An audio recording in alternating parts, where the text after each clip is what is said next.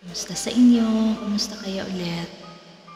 Ah, kumusta sa lahat na, na, na nakikinig sa aking pagkanta lagi? Um, ingat kayo palagi.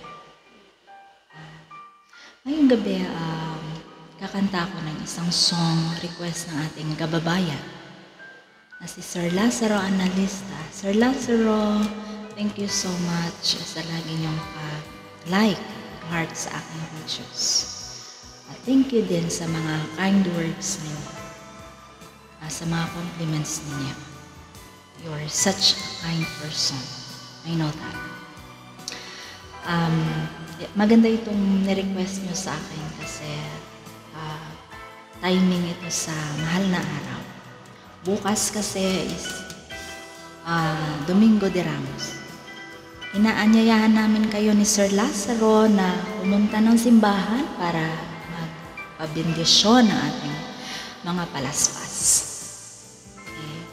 Ah, masaya yan sa probinsya. Lahat ng niyog na kalbo.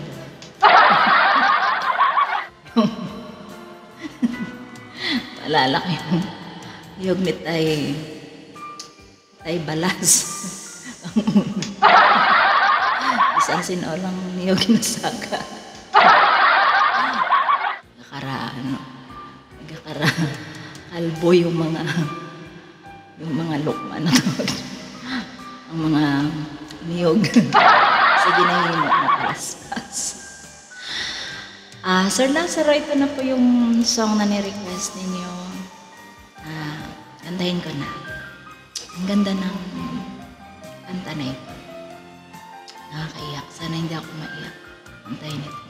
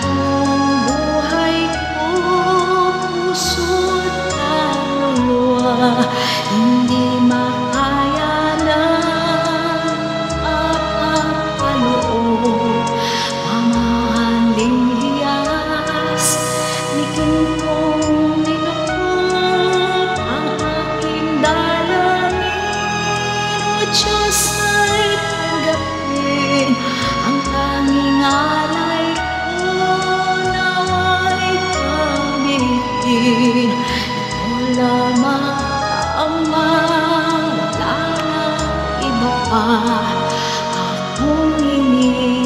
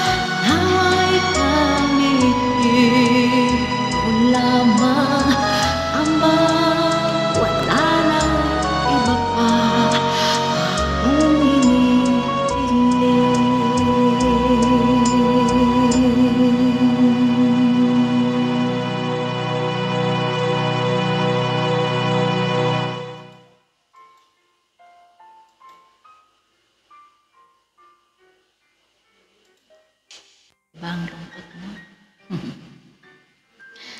Sir Lazaro, thank you so much. Sana ah, mapakinggan mo ito. At sana nabigyan ko ng justice yung kanta. Ingat po kayo palagi. God bless you.